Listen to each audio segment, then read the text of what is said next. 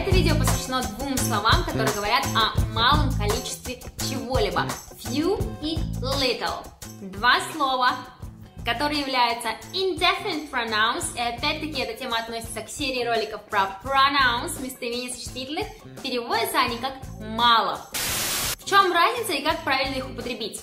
Разница на самом деле в том, что слово little употребляется с неисчисляемыми существительными with uncountable nouns, в то время как few употребляется с исчисляемыми существительными. Мало чего-то. I have few lessons left in my course. У меня осталось буквально несколько уроков, чтобы закончить курс. То есть их мало, мы говорим few как небольшое, незначительное количество.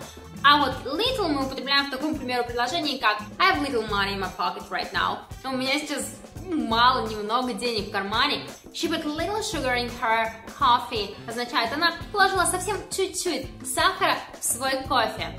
А вот слова a little и a few это уже наречие. A little немного, a few опять же немного или несколько.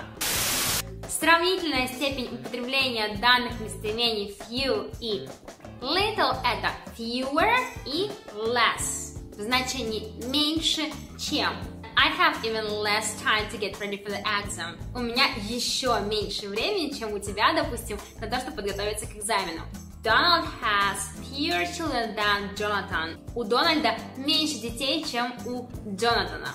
Кстати, когда мы имеем в виду значение именно несколько, не мало, так сказать, а всего лишь несколько штук, то мы употребляем слово several. Это опять-таки слово, которое употребляется с исчисляемыми существительными. There are several apples in the fridge. В холодильнике лежит несколько яблок. There are few apples in the fridge. Мало осталось яблок в холодильнике. То есть это немножко разный контекст. В первом предложении мы означаем, что их вот несколько, а вот во втором мы уже говорим о том, что нам их мало. Это все про местоимения few и little, что я хотела вам рассказать. Смотрите, это не сложно. Читайте предложения с этими словами в описании к данному видео, и я уверена, у вас получится не путать их в речи и употреблении.